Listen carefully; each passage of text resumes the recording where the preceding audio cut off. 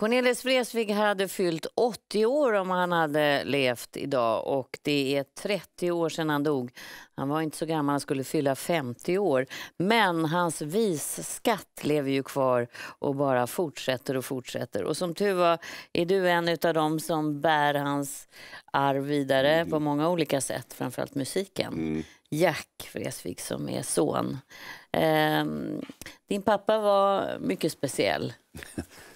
Ja, du och jag skrattade direkt. Ja, jo, men det, det var han ju på, ja. på, både gott och ont. Mm. Ett geni på många sätt när det gällde att skapa musik och ja, låtar.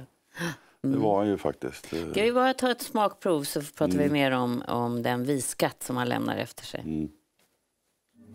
Somliga går med trasiga skor Säg vad beror det på?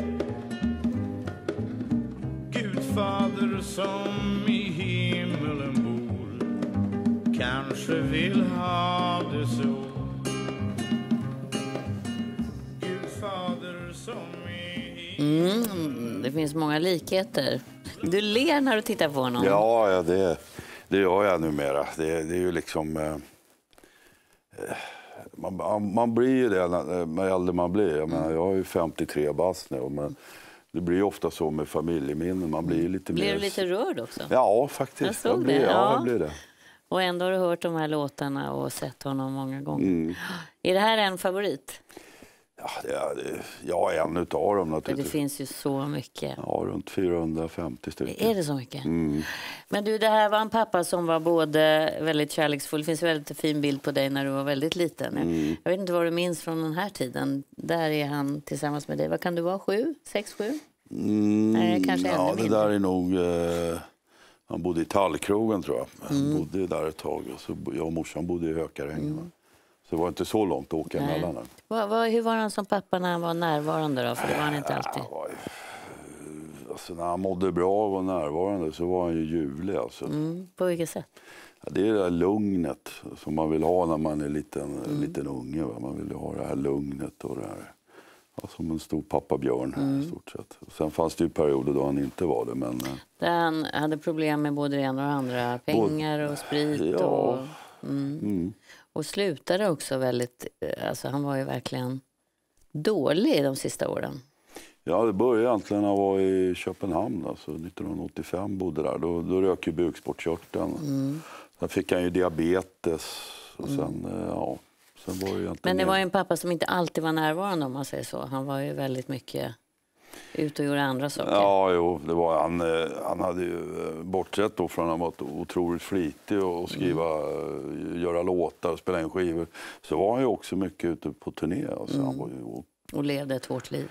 Ja, det, det, det var ju det. Mm. det. Det, var ju den generationen av musiker. Mm. Det, det, var mycket alkohol inblandat och lite annat då naturligtvis. Han, du, tycker, du var i 20-årsåldern när han dog, vad sa du? 21, 23. 23 år. Mm. Han du liksom prata med honom sådär på ett vuxet sätt också? Ja, det blev ju vuxendiskussioner mm. naturligtvis. Det, periodvis så hade vi en ganska bra relation, periodvis så hade vi inte det. det jag vet inte om det, om det är så med alla, va? men det, det var... Det var mm. Och vad, vad, om du skulle beskriva honom som han var då när du mer som vuxen kunde beskriva honom, vad, vad var det för en person? Jag tror det var en person som längtade efter eh, eh, dels efter trygghet, det fanns ju aldrig riktigt någon trygghet för honom, speciellt på slutet. Där.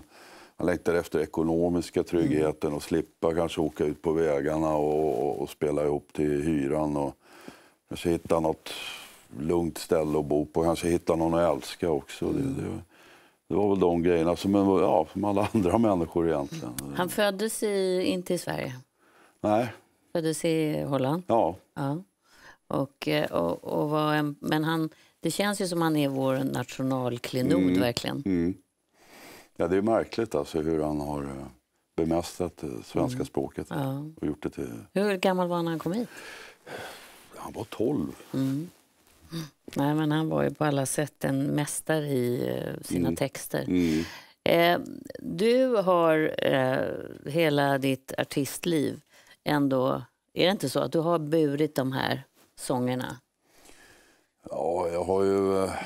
Nu är jag ju snart där att jag firar ju det, är väl- det är väl 20-årsjubileum. Ja.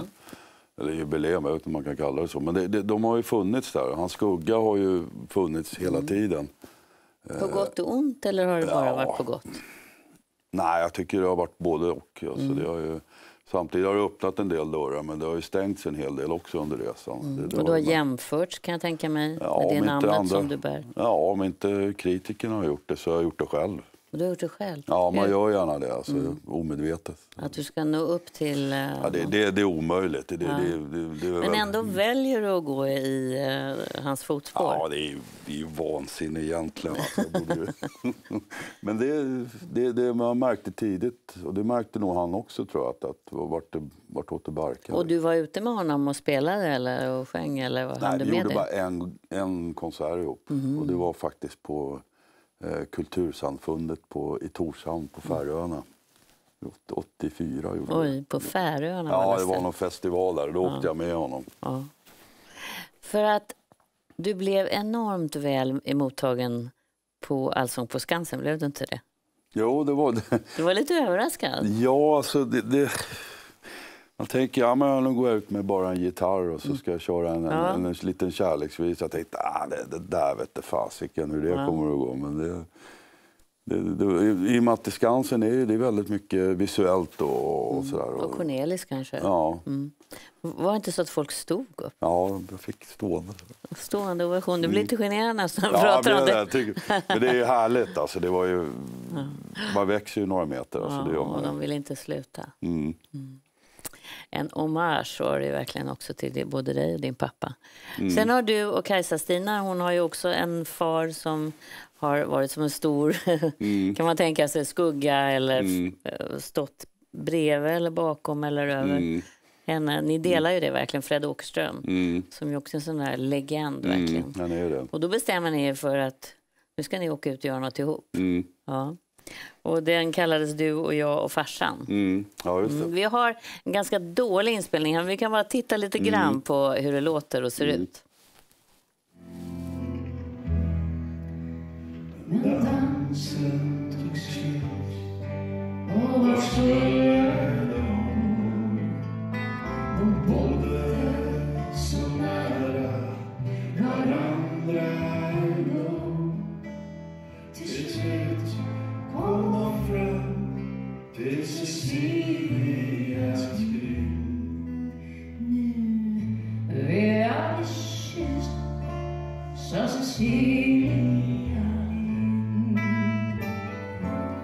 Ja, det är svårt att välja. Det där är också en favorit verkligen.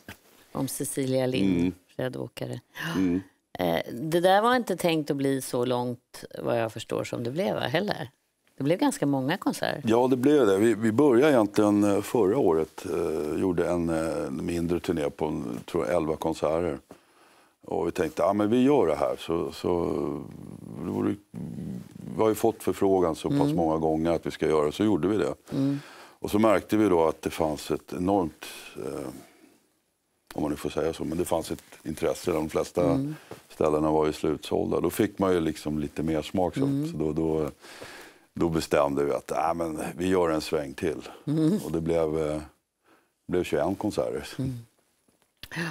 Och det är klart att, att eh, det är väldigt spännande också att se er göra det här. Mm. Du, jag tänk, hon har ju precis på samma sätt, hon har både gjort eget och sen så blir hon väl ofta ombedd att sjunga sin pappas Mm. sånger. Mm. Eh, när man förlorar sin pappa, man är så pass ändå ung som 23 år gammal, Mm. blir det som ett hål eh, i hjärtat då att inte att längta, att man finns en saknad och en längtan. Ja, det, det, det gör det. det. Det blir en, eh, även om inte han var eh, synonym med, med, med trygghet så för min del, eftersom jag var ganska brokig uppväxt, så, så försvinner ändå en slags trygghet, en fadersgestalt.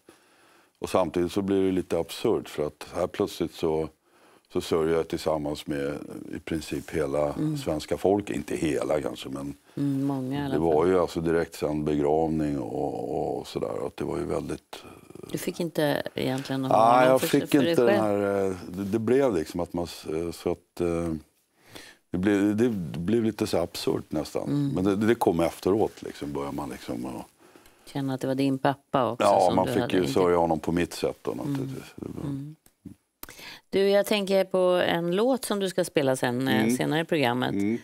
Eh, Det är en låt som han själv tyckte väldigt mycket om, var det inte så? Ja, eh, man anar ju om man läser första raderna så, så, så är det ju så att eh, Ann-Katarina uppmanar honom att kanske eh, du skrattar visor och sjunger skämt men du kan inte göra en, en sång om vi, en kärleken den sköra. Och där anar man någonstans att han, att han är på väg bort från den här lite mer skojfriska låtarna och vill liksom hitta sin poetiska ådra. Och den, det, Vem är det han sjunger om? Då? det, vi, har ju pratat om den här låten, för jag tog upp den när jag var tonåring. Då började jag ställa frågor och då sa han att han hade, den är tillägnad morsan. Han har Din mamma. Mm. Och sen är det en slags hyllning också till Alf Hambe. Mm. Vad heter den då? Va? Låten? En grimas för morgonen. Just det, det är många som kommer känna igen den.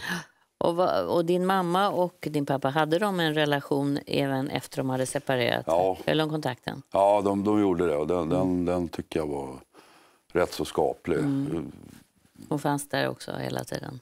Det fanns en, en, en, slags respekt där för Mm. sinsemellan som var, tyckte jag var rätt, rätt sund och fin faktiskt. Mm. Ja, det ska bli eh, jättehärligt att få höra dig sjunga den där sen.